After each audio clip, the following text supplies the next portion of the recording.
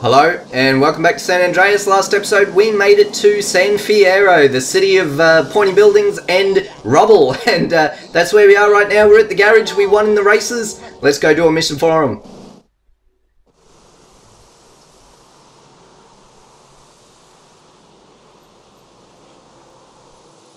Motherfucker! That mute asshole, that fucking snake without a tongue, gave me this shithole instead of a pink slip. I must be the biggest fucking idiot in the whole fucking world. Holmes, take it easy. At least we're alive. Carl, friend, fellow traveler, relax, man. You're really killing my fucking vibe here. Well, I'm sorry I'm fucking up your vibe, old man, but I can't wait to get my hands on that mute and your bitch ass cousin. My cousin? You're gonna diss my familia? My bad, man. I'm just pissed for all of us. I mean, look, we in a strange place. We got shit to our name, and for once, I try to make something work this garage, and it ain't even a garage. Then make it into a garage. Oh, that's a great idea, sis. Won't you shut up? You know what, Carl? You are a fucking idiot. Your whole life you wanted something for nothing. Now you've got something and you don't know what to do with it. We'll make it good enough. We'll help, right? We got your back, CJ. Come on, stop tripping, man. Both of you. Whoa, man, the energy here, it's fantastic. Oh. Yeah, uh, all right. But how am I gonna find some good mechanics to work up in here, man? I know a few guys. Come with me, friend. They're good people, I swear it. Oh, man, I'm about to ride with this fool again. Come on, man. There's these two guys I know. Used to work on marine engines. Till the mob bought their business over in Vice. Now they try and make ends meet by taking any old job. They're a little bit dull by their habit, but the smoke don't get in the way of their skills with an engine. We'll pick up Jethro first. Last I heard, he was working at a garage over in East Basin. Marine engines over in Vice City, huh? I reckon you might be able to connect the dots on who they might be. And let's have a look at the truth.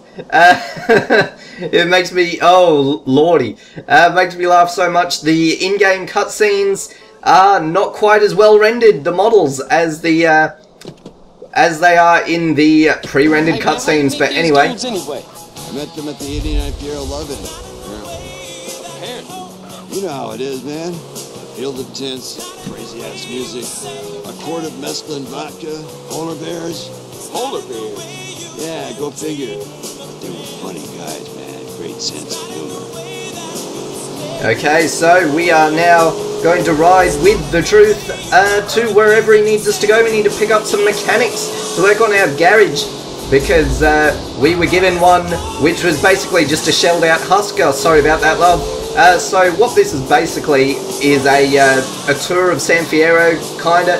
And I mean, we already did sort of a tour of San Fierro, didn't we? So it's uh, not too useful of a mission, because no doubt before you do the mission, you would have actually just driven around on your own for a bit beforehand, and god damn it. Vietnamese gang territory.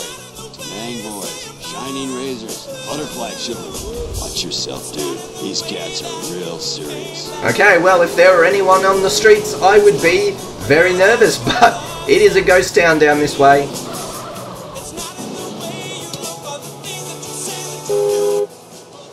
Hey, Jethro. Hop in, man. I've landed you a real job. Hey there, Truth Dude. Oh, man. Do, do I owe you? Because I swear I paid for that weed, dude. No, man, we're good. I think. Jethro, Carl. Carl, Jethro. What's up, man? Can we swing by the hospital? It's over in Santa Flora District, west of here.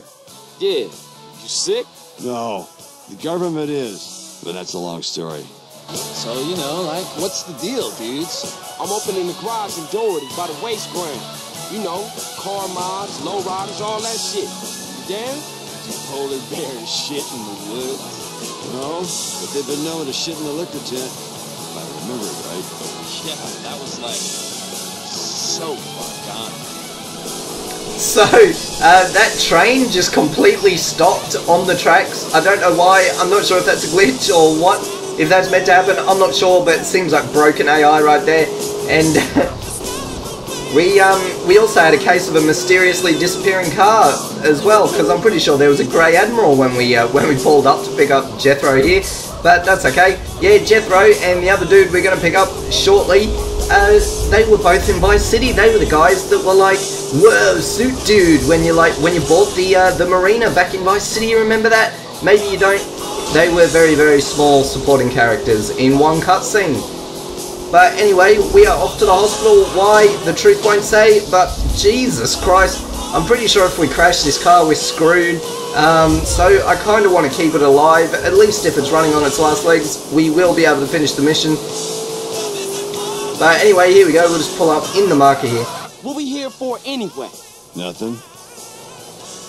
Oh, don't look. Cover your faces. Think about a yellow rubber duck. You tripping again. Shh. Hello? Hi, is Mark there? Okay, I've seen enough. Let's go see if we can find Dwayne.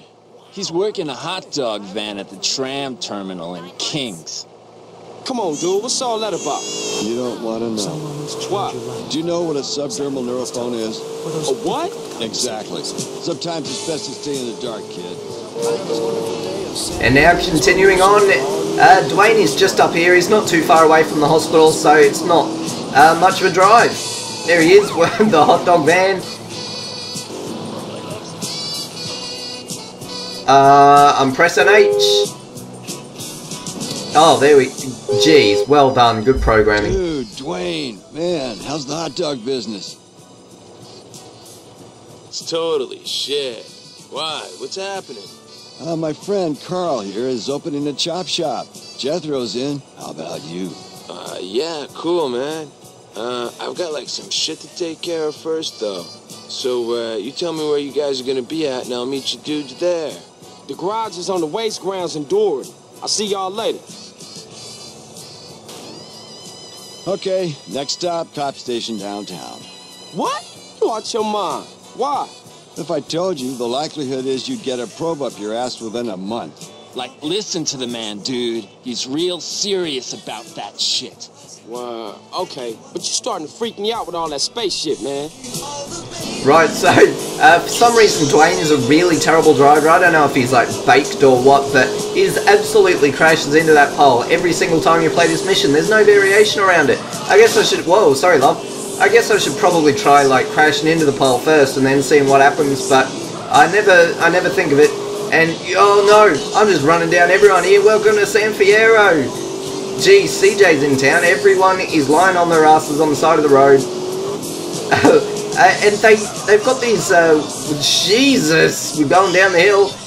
Um, they've got this, like, uh, police station and hospital icon on the radars for this mission, but they're never used ever again. So I gotta wonder why they bothered even making sprites for the for this mission. Thinking maybe like back in back in like the beta version, they used to always have uh, icons on the map. I don't know. Okay, you know the drill. Don't look interested in anything.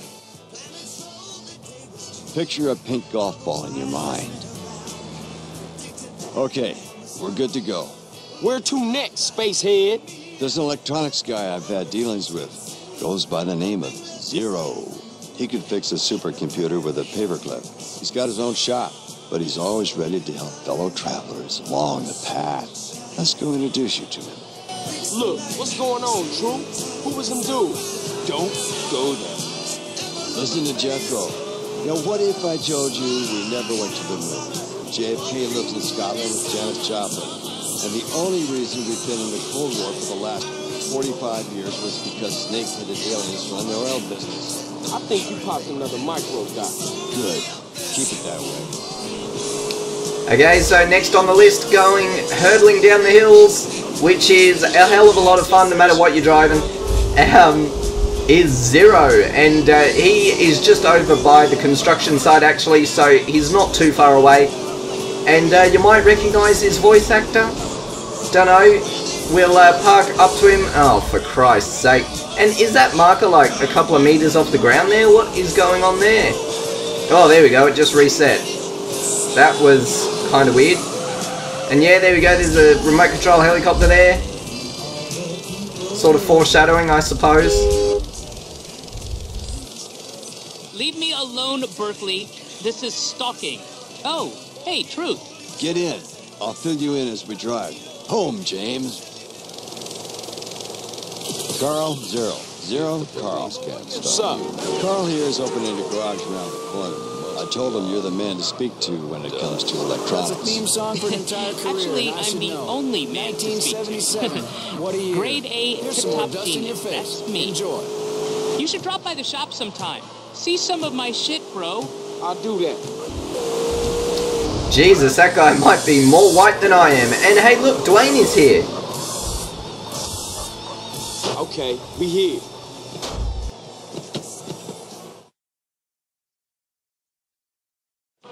A week of hard work, and we'll transform this place. Hey, Caesar, come over here. What's up, B? Caesar, this Jethro, Dwayne, and Zero. Hey, man. Dude. Salutations, my sibling. Orale, let's get to work. Hey, hey, Carl, look. I think I found a way for us to get paid. I ain't going to no college to study no account. No, idiot, property. Decorating ain't exactly my thing either. No, property development. Look, you buy a dump like this, fix it up, and sell it. Or better yet, you turn the property into a business. The snowball gets bigger. I don't know, sis. This all sound big time to me. Look, Carl, this place is gonna get on its feet, and when it does, we are gonna have money. If you wanna make something of yourself, you gotta let your money work for you. Look, I wouldn't even know where to start. Look, you two concentrate on the garage and let me work the property thing, okay? Yeah, that's my baby girl right there, Holmes. Man, you chose her. I'm stuck with her.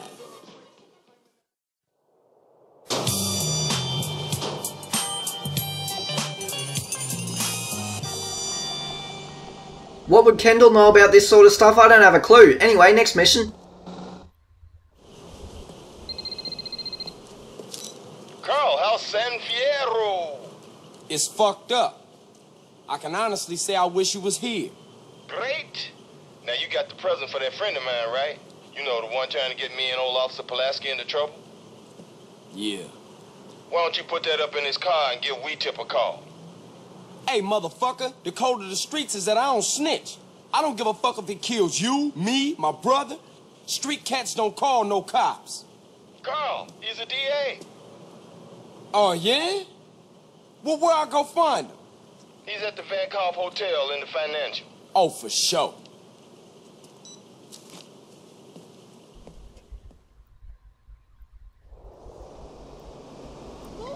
Vank Hoff?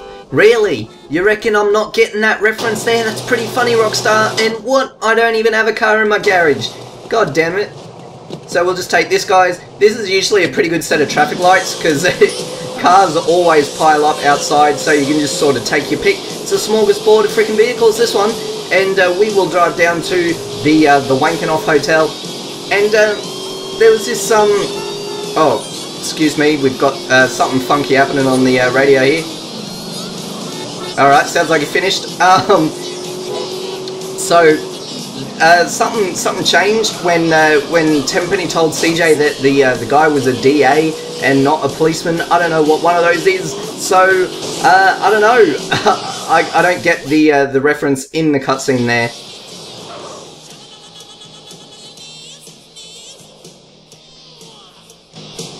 Ah, the valet, right. So this mission is kind of uh, out of the ordinary of what we usually need to do.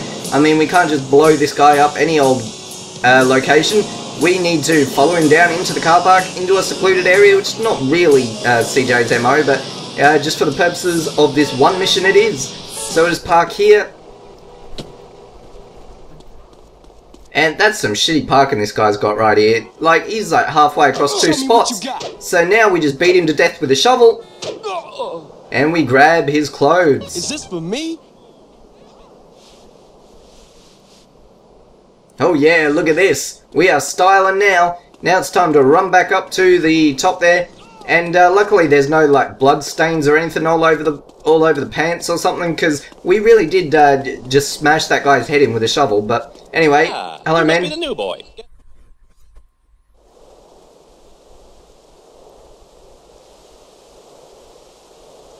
It's not actually blue, it's more like green, so I'm not sure why they say it's blue.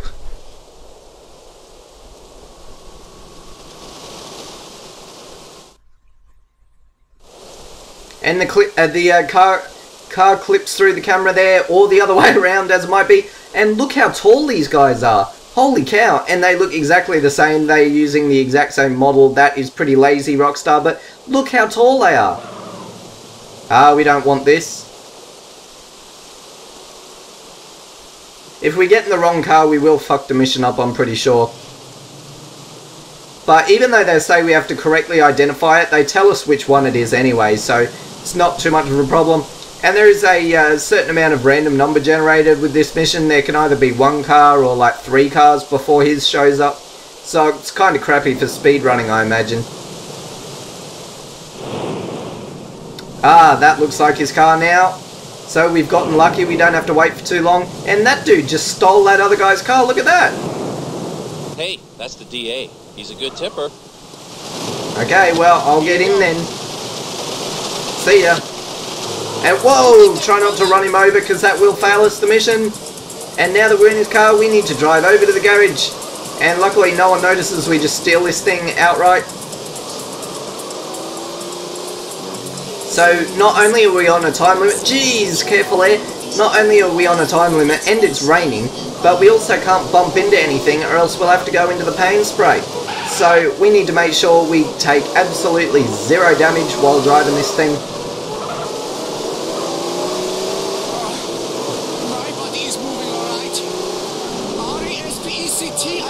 And with any GTA mission, when you've got to drive really fast and also not take much damage, it's just a recipe for disaster usually.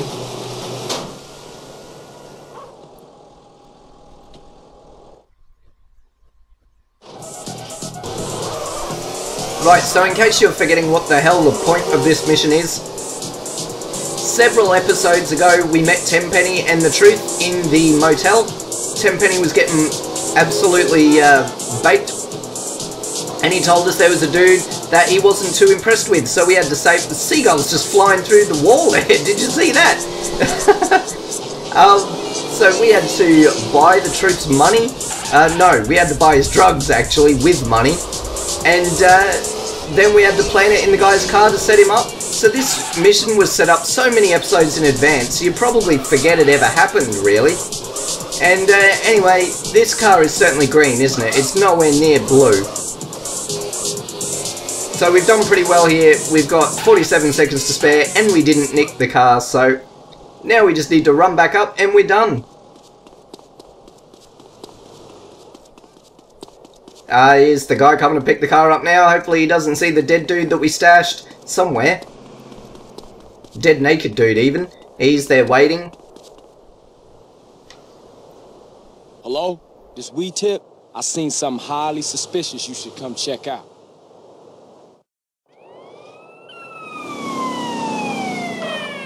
Police, don't move! Get out of the car with your hands in the air! Do you know who you're fucking with here? I'll have your badge, you moron! Shut up! You find anything back there? Found anything? He's got half of Mexico in here. Must be two tons of Mary here. What? But but I've never seen. How could it be? Hell of a defense you got there, buddy.